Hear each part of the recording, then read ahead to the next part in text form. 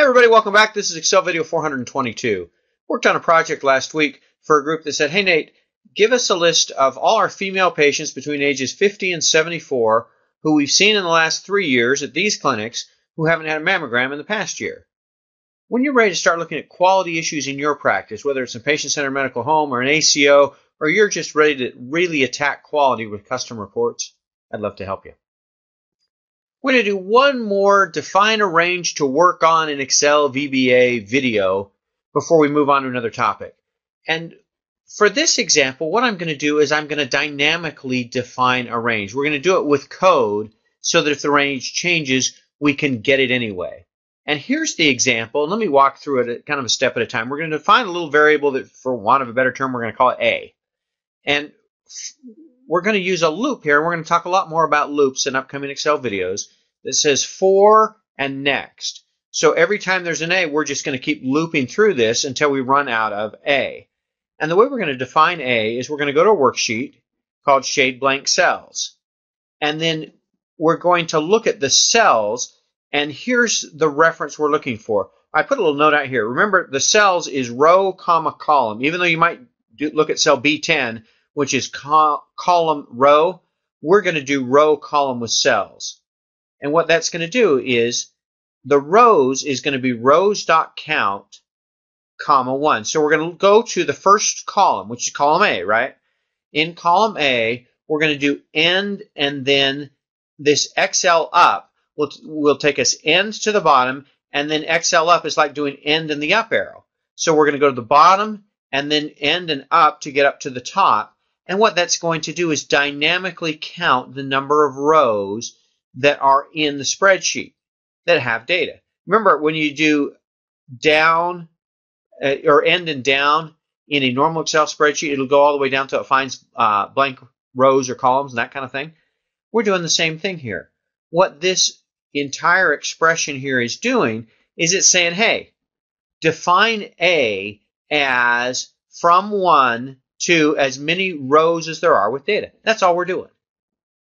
And then what this if statement does, it, it, and what you'll notice it starts with if and ends with end if, and there's an is empty function.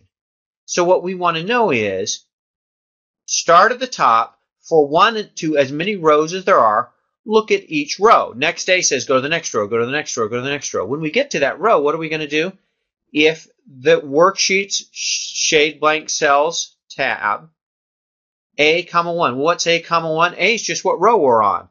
If column A in the row we're on is empty, then all we're going to do is look at this cell, and that's all this is, shade blank cells dot cells A1. If this row is blank, if it's empty, then we're going to change the range. That's what this resize does. We're going to change the range from being just one cell to go out five columns. One row, five columns, and we're going to change the color. Let me show you what it does, and then we'll walk through it one more time. So I'm going to highlight this. Before I run it, I'll show you what the spreadsheet looks like to start with. So I've got my providers and um, my quarters out here, and I've got the number of patients that they saw at whatever location and things like that. What I want to know is I want to be able to shade these blank row, whoops, that blank row and this blank row between providers where this is blank. So what we're going to do, come back over here and let's run this baby. Come back here, and now we've been able to shade blank rows. Now watch, Washington is has something here, but it's blank out here. And the reason it didn't shade is because we're looking at the first column, column A.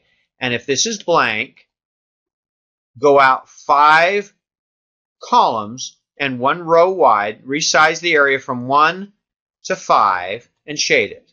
Let's go back and look at the code one more time.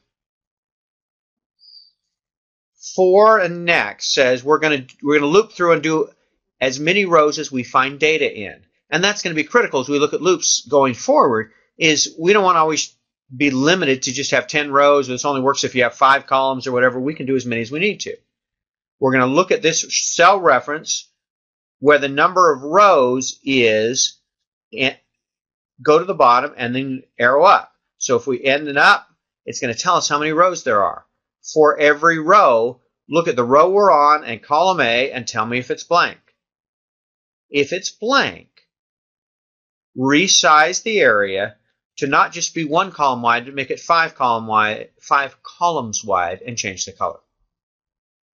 I hope that makes sense. The thing I want to show you is a couple of things. For and next, that loop is going to help us dynamically define a range. We're going to use this trick, this rows count and end XL up, to help us get to the edge of our data more than once in upcoming Excel videos.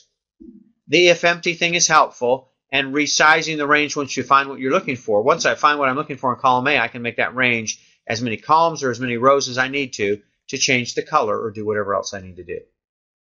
A little bit complex, but at the end of the day, if we can do that, we can do all kinds of things with VBA and macros. Stay tuned. We'll talk more about how you might loop through cells and rows and columns and all that good stuff in upcoming Excel videos. Thanks for watching.